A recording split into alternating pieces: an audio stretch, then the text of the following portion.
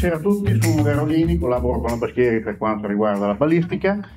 E, niente, dobbiamo iniziare dicendo che la Baschieri Pelagri delle aziende italiane di munizioni è sicuramente una delle pioniere in questo settore. Ha iniziato negli anni 90 a fare delle ricerche per i materiali alternativi, quindi preparandosi per tempo ad un'eventuale escalation che poi è arrivata, quanto vediamo, ai giorni nostri. Abbiamo una grande esperienza, abbiamo messo a punto diversi componenti specifici per queste munizioni speciali. Ci siamo adeguati a quelle che sono state le normative che sono via via eh, susseguite da parte della CIP, che è l'organo di controllo per quanto riguarda le munizioni. Sono state sviluppate eh, un sacco di borre, ad esempio, sono state sviluppate delle tecniche di caricamento, delle polveri addirittura apposite. La Baschiera diciamo che si è specializzata in questa cosa che era iniziata ancora prima negli Stati Uniti e quindi siamo arrivati non impreparati a questo momento.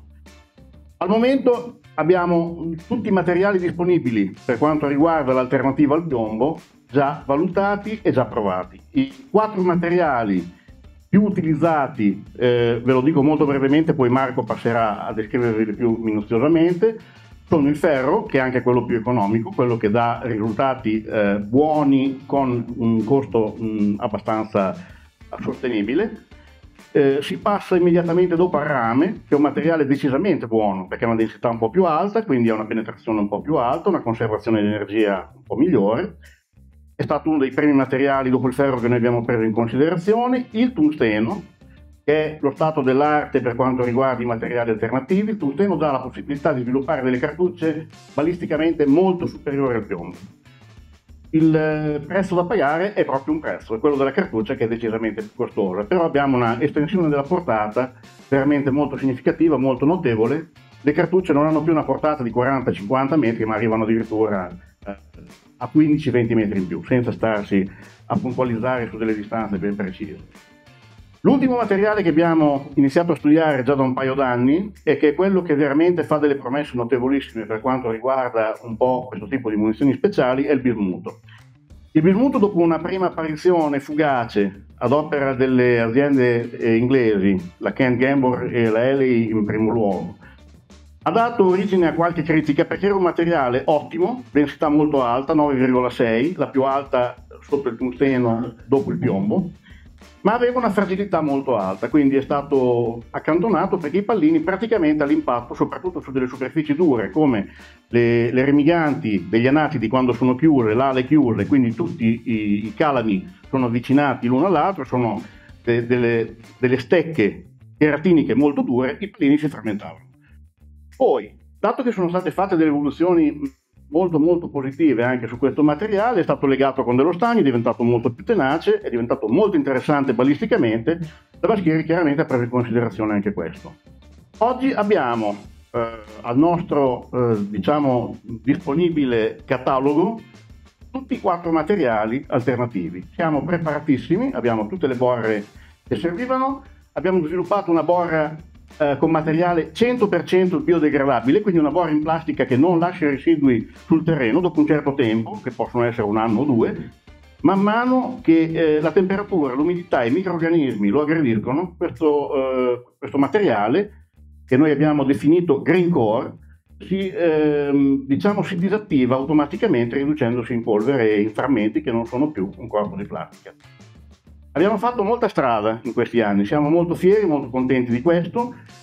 Siamo a conoscenza di tutte quelle che sono le nebulosità della normativa CIP, che è quella che sovrintende a questa materia in un modo molto preciso e molto fiscale, e la seguiamo rigorosamente per fare delle cartucce che siano in linea con tutte quelle che sono le prescrizioni che la CIP dà per questa cosa.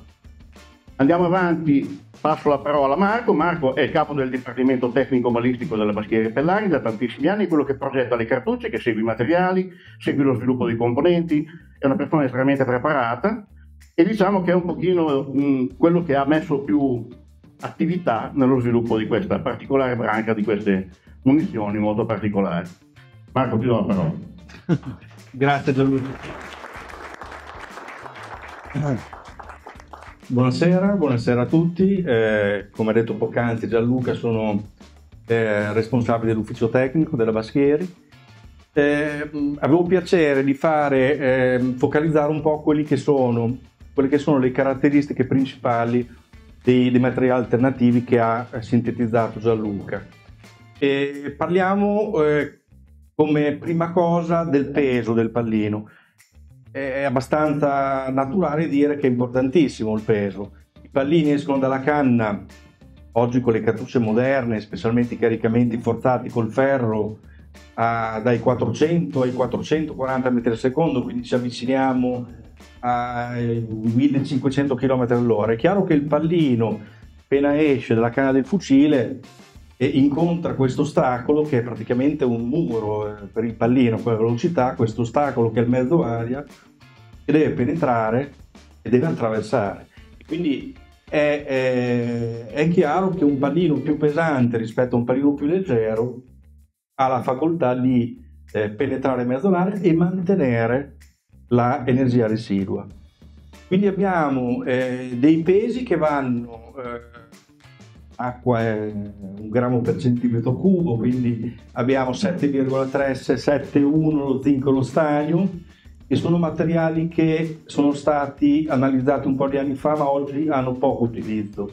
Perché? Perché sono molto leggeri e costosissimi. E si passa poi al pallino un pochino più pesante, anzi diciamo un 10% più pesante che è il ferro, con una densità di 780 e che comincia a avere insomma un peso interessante. Dopodiché si passa ai materiali un pochino più pesanti, anzi decisamente più pesanti, come diceva Gianluca, quindi il rame e il bismuto, fino alle leghe che sono eh, principalmente oggi leghe tungsteno-ferro, vanno dal 12 di densità fino addirittura al 18. E più aumenta nella lega la, la percentuale di, di tungsteno, chiaramente aumenta il peso. Un altro aspetto importante del peso qual è? Che più il pallino è pesante, più all'interno della cartuccia occupa meno volume. Il pallino più leggero occupa molto più, molto più volume. Questo è importante perché eh, sapete sicuramente quali sono tanti cassatori che oggi le cartucce costruite per esempio con eh, il piombo nel classico Boss 1270 è quasi normale costruire delle cartucce a 40-42 grammi, le classiche 6 mani, col ferro che ha una densità decisamente più bassa, quindi si passa da 11,10 a 7,80, nelle cartucce 12,70 difficilmente si superano i 32 grammi perché all'interno di quel volume i pallini più leggeri occupano tanto spazio. Addirittura lo zinco eh, nello stesso volume talmente leggero che difficilmente si arriva a 28 grammi. Un altro aspetto importantissimo, si parlava prima e quindi mi ricollego anche un po' all'utilizzo dei fucili, è la durezza. La durezza ha, ha, un aspetto positivo e negativo. Positivo perché? Perché il pallino duro si deforma. Quindi cosa fa? Eh, un corpo sferico mantiene il suo profilo sferico e meglio penetra l'aria. Troppo duro però cosa vuol dire? Che potrebbe danneggiare le canne durante il passaggio eh, all'interno della canna. Quindi i pallini che eh, partono da, da, una densità di circa 780, ma anche una densità anche un pochino più bassa, una durezza in Vickers che si attesta su 50 Vickers, necessitano di essere protetti da, delle, da delle borre per proteggere, eh, per evitare che il pallino vada a toccare la canna e quindi danneggiarla. Come diceva Gianluca, noi abbiamo, siamo stati i primi, devo dire, in Europa a sviluppare queste borre che non sono di costruzione banale perché devono appunto resistere eh, sollecitazioni particolari. Se Gianluca vuole suggerire qualcosa? Ma sì, eh,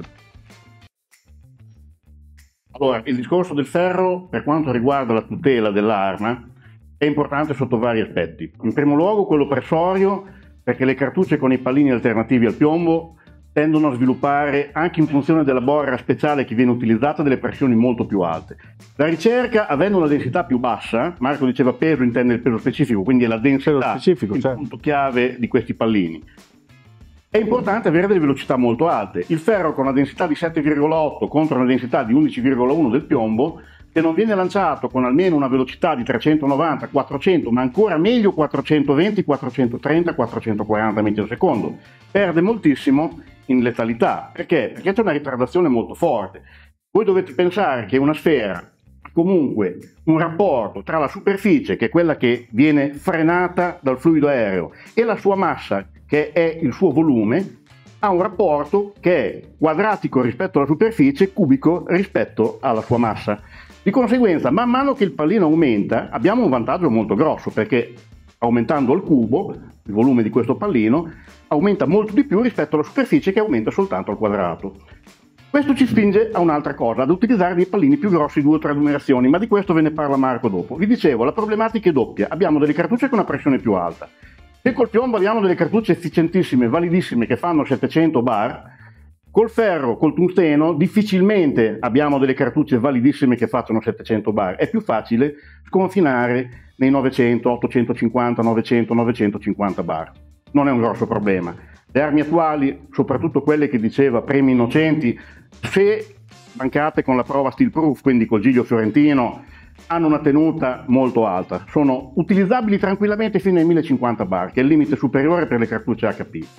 Ma non arrivando neanche ai 1050 bar, comunque con cartucce da 950 bar sono ultra sicure.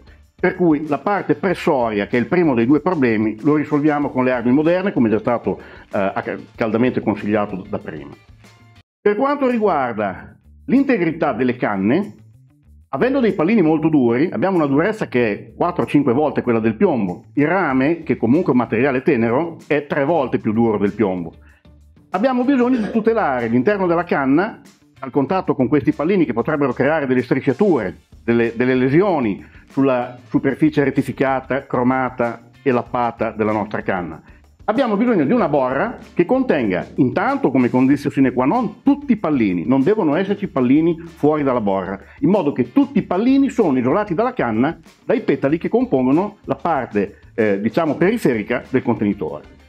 In secondo luogo, molto importante, che questi petali non vengono perforati dai pallini, perché quando abbiamo una tensione molto forte creata dalla pressione che spinge questa massa, i pallini tendono a fare un'espansione radiale e quindi se abbiamo un materiale tenero, un materiale troppo plastico, la sfera lo perfora e una piccola parte della sfera, sufficiente che sia la parte tangenziale, tocca la canna e abbiamo annullato tutti i nostri sforzi per non fare dei danni alla canna. Quindi, per preservare la superficie interna della canna da delle strisciature, da dei segni, da dei graffi, utilizziamo una borra in un materiale particolare, non è lo stesso materiale delle borre in, in eh, plastica per il piombo, è un materiale speciale molto più tenace che garantisce che questi pallini non riescono a perforare i petali.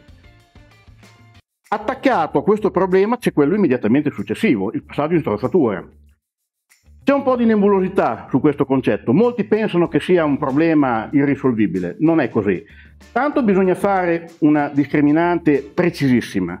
Il problema della massa dei pallini, che arriva da un diametro di 18,4, 18,9 se sono canne sovralesate, a una strozzatura di un millimetro, che è quella di una canna una stella, è chiaro che viene sottoposta a una pressione radiale fortissima c'è un, un, processo, si chiama tecnicamente di arroccamento dei pallini che vengono compattati in un cilindro di diametro minore.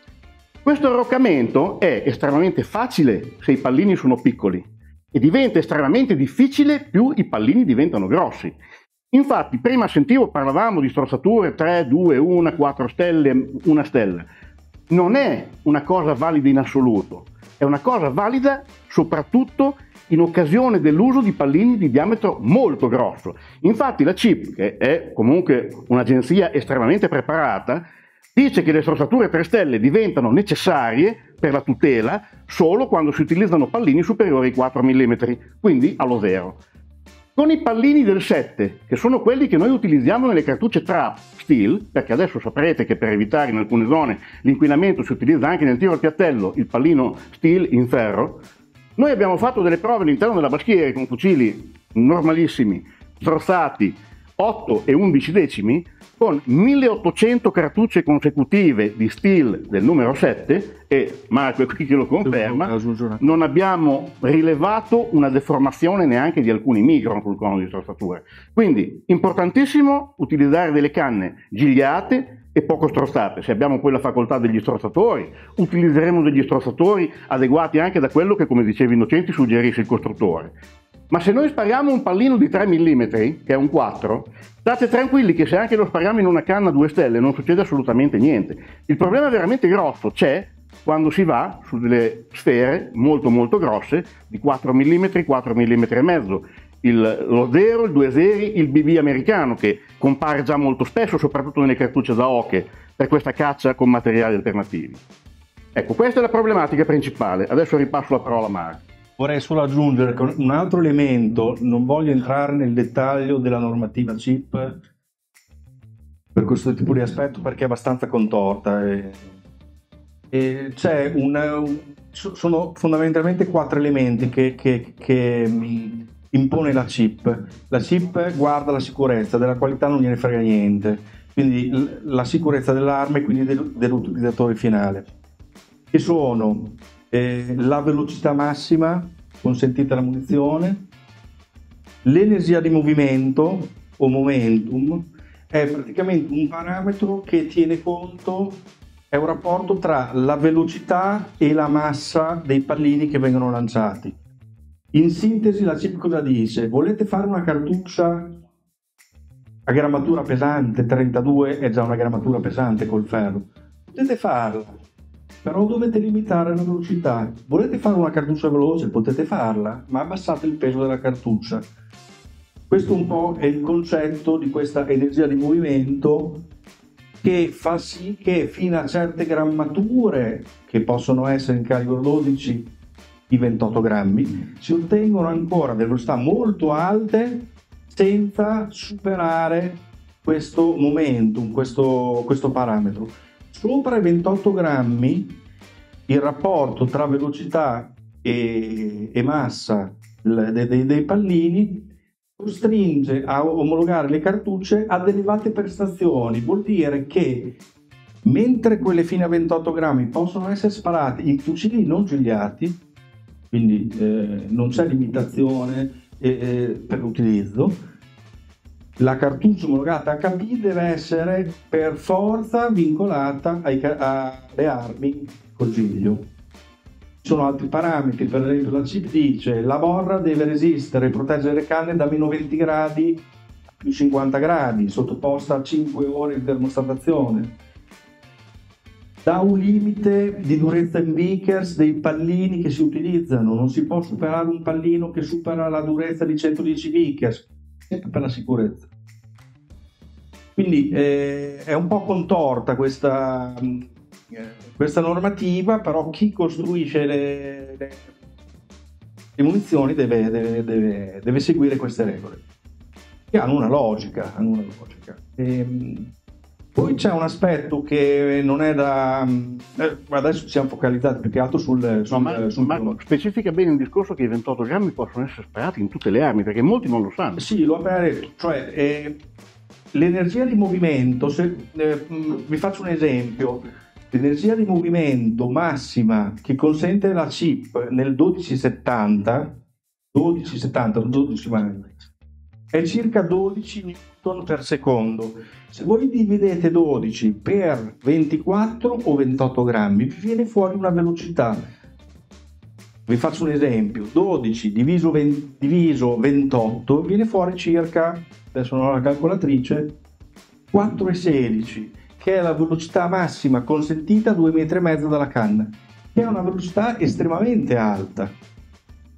Quindi una cartuccia a 28 grammi con velocità alte rientra nell'omologazione standard e può essere sparata di fucili normali. Non è necessario che i fucili siano eh, puntonati PSF 2 stelle a 1370.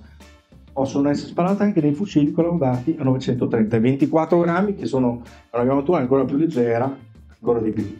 Quando si va sopra queste grammature, uno può costruire la cartuccia a 32 grammi con 12 massimo di, di limite, ma è costretto, visto che la massa aumenta, a fare delle cartucce a 3,75 e i pallini di ferro che bisogno di velocità 3,75 non sono efficaci. Non hanno più letalità. Non hanno più letalità. Un altro aspetto, eh, allora adesso abbiamo parlato del ferro, eh, poc'anzi Gianluca ha parlato del, del, bismuto, il bismuto è un materiale considerato non toxic in tutto il mondo, è un materiale che ha una densità di 9,7, 9,6, quindi si avvicina, comincia ad avere un peso importante, ha una durezza circa come il piombo, può essere sparato quindi con le bore di feltro, con le bore dispersanti, con le bore contenitore, in tutti i fucili perché non ha limitazione, perché è praticamente come il piombo. Ecco, qui c'è un problema, eh, cominciamo ad andare sui materiali che costano, hanno un costo molto elevato.